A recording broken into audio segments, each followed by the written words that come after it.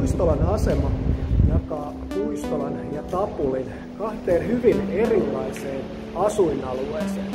Tänään me tutustutaan Puistolaan asuinalueena.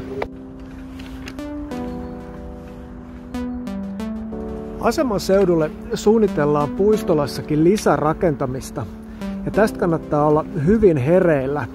Myös pikavoittoja saattaa olla luvassa.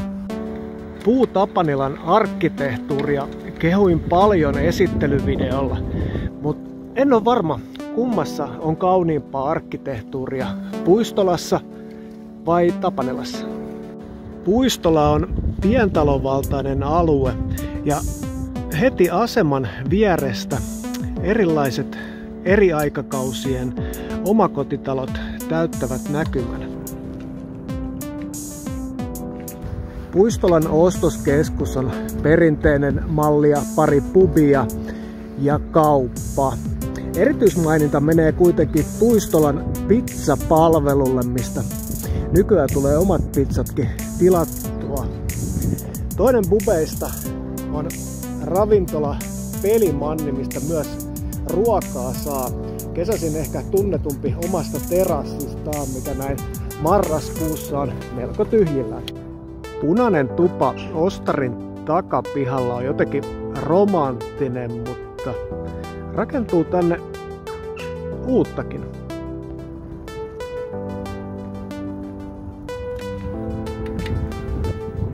Ostarilta matka jatkuu kohti Heikin laaksoa. Oletko harkinnut asunnonvaihtoa Puistolassa? Minä tunnen tämän alueen. Ota yhteyttä markkumutanen.com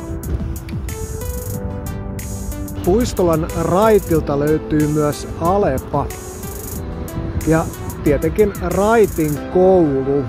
Puistolassa kouluja on oikein kaksin kappaleen ja mennään seuraavaksi Koudan koulun suuntaan.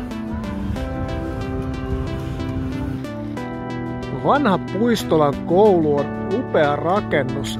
Sääli vaan miten remonteissa kaikki voi mennä pieleen. Ja niin tässä vieressä sitten aikamoinen hirvitysparakkirakennelma. Puistolan kirkko löytyy yllättäen täältä puiden keskeltä. Täällä on paljon toimintaa lapsille ja vanhuksillekin. Tää on mukava nähdä, että vanhan keskelle rakentuu myös uutta, rohkeaa arkkitehtuuria.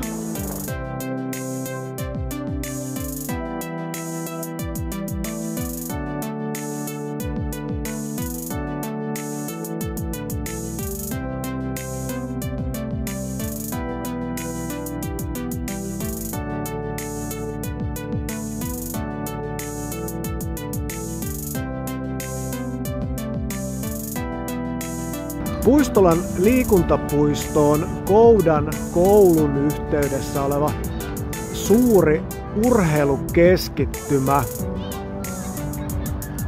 Täältä löytyy Helsingin yksi parhaista jalkapallokentistä, mitä tulee nurmenlaatuun.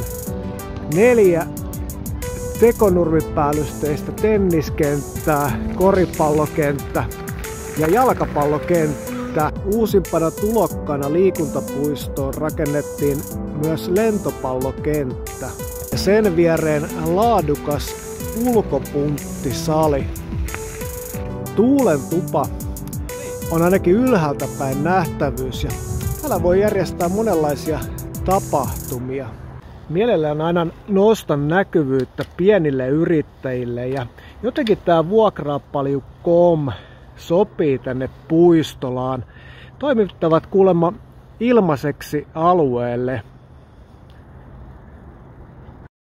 Puistolasta viihtysä paritalon puolikas ja käydään katsomassa millainen asunto on kyseessä. Mun mielestä ehkä sitä parasta puistolaa. Täällä omalla sisäpihalla viihtysä terassi, grillit, ja sitten vielä toinen lasitettu terassi, missä iltoja voi viettää myöhälle syksyyn. Syksyllä terassit eivät oikein pääse oikeuksiinsa, mutta syksy ja talvi jatkuu viihtyisessä ja tilavassa olohuoneessa. Keittiössä pinnat ovat kuin uudet.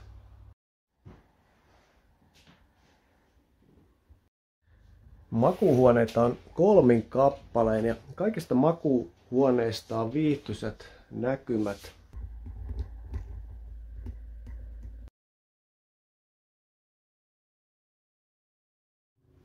Pesukoneelle kodinhoitohuoneessa on hyvin tilaa.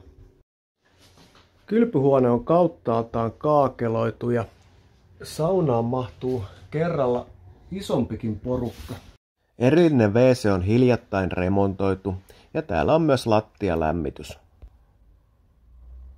Oletko harkinnut asunnon vaihtoa Puistolassa? Minä tunnen tämän alueen. Ota yhteyttä markkumutanen.com. Puistolasta löytyy myös vapaa palokunta, minkä toiminta on virkeää. Nurkalta löytyy päiväkoteja ja muutama koululuokka ja kirjasto.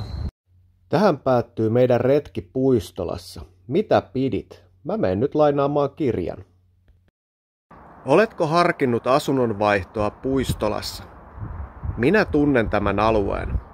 Ota yhteyttä markkumutanen.com